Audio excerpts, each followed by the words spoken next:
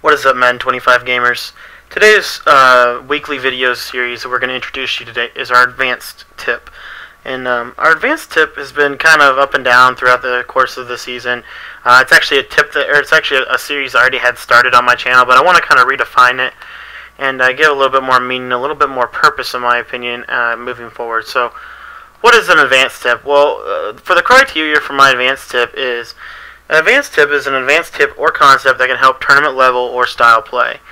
And, and, basically what I mean by that is I want my advanced tips to be able to be used in tournaments. I want I want them to be able to help people who are playing uh, at a at a fairly high level, uh, and and I and more or less kind of just want them to be able to expand on it. It's it's basically more of a concept typically than just a tip.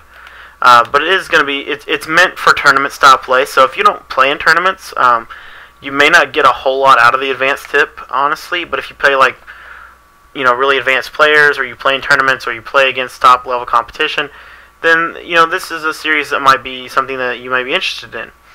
And and basically, again, like I said, some of the tips we've discussed in our advanced tip have been how to pick a play without your opponent seeing um, how to pick a play without your opponent seeing what you're picking, how to disguise your coverages so that they all look the same, different things like that, different basics, and, and I'm looking forward to getting into a little bit more advanced stuff uh, as we go through this advanced tip, but I kind of want to progress it up.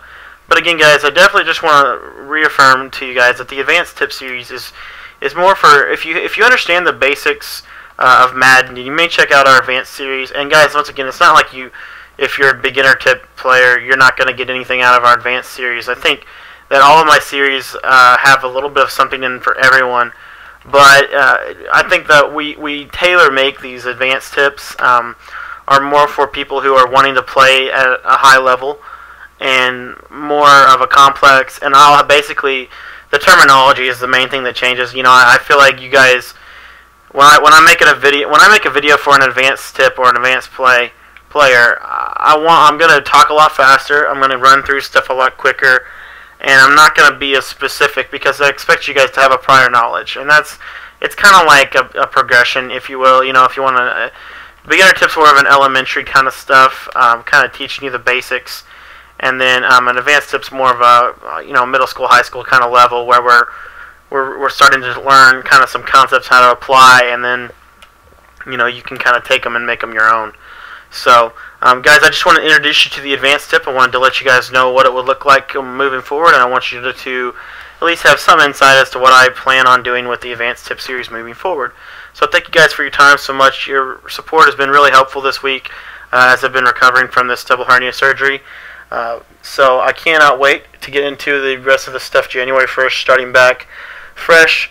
Um, but guys, do continue to keep me in your prayers and keep me in your hearts uh, throughout this holiday season, as it's been kind of a tough holiday uh, for me and my family, just because of all the uh, health stuff that I've been going through and, and some other stuff. But but thank you so much for your time and thank you for your support. It means the world to me to know that I have all you guys here, ready and willing to support me, and it just uh, it really humbles me a lot. Appreciate you for your time.